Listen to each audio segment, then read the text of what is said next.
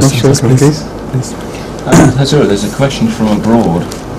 Uh, the questioner refers to the uh, tradition that the during Ramadan the gates of heaven are opened and the Open at gates of hell are closed and the Satans are changed.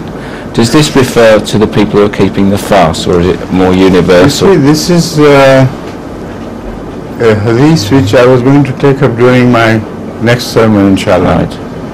At length and in depth, I will try to explain everything about it. But uh, just a cursory study would not make anybody get the get. I mean, understand anything from this. Right.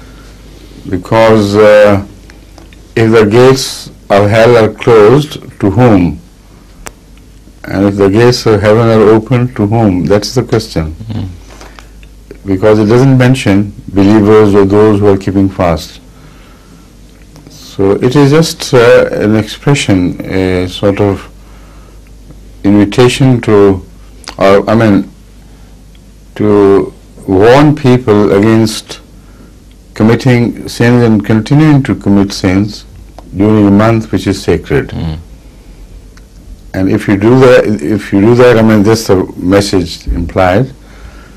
Then, al- although ordinarily sins are, of course, never approved by Allah, but during certain days, if you commit sin- sins, you are held doubly responsible. Mm. Things which one normally do, do, does, which have nothing of illeg- illegality about them, become doubly illegal at certain times, like during the day of Sabbath. Mm. Things which okay previously, before the Sabbath was imposed, were forbidden, although normally in daily life they are not forbidden at all. So I think that is the general spirit of this hadith. Mm. So at times when somebody is, uh, now let's first think in human terms, because the terms which I'm going to use do not apply to God literally, of course. If you're in the presence of uh, a king who is sitting in audience before the people, then to misbehave is doubly punishable. And if at that time you make advance, uh, no, not make advances, but to you try some to uh, to pl- present your case to him, which otherwise would be difficult for you to do because of the distances involved. If you are given a close audience and uh, you are able to present your case well, naturally one expects that case to be heard sooner than through other sources.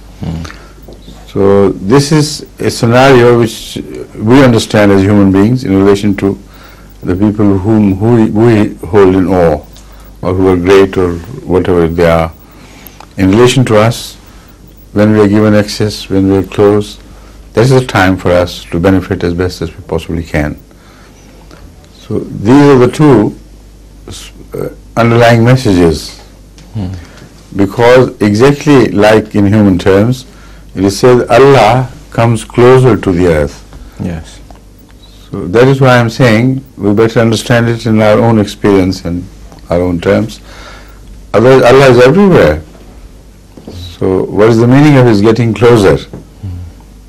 This means that uh, he's more in, again, the word mood does not apply to Allah, he has no moods.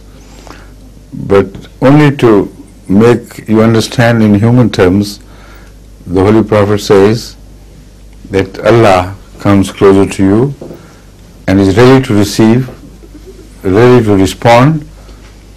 So if you make a special effort during these, this month to get closer, then you are far more likely to be heard than otherwise. Mm. And this is the meaning of the door of heaven being wide open. Mm. Otherwise, uh, these parables and metaphors should not be taken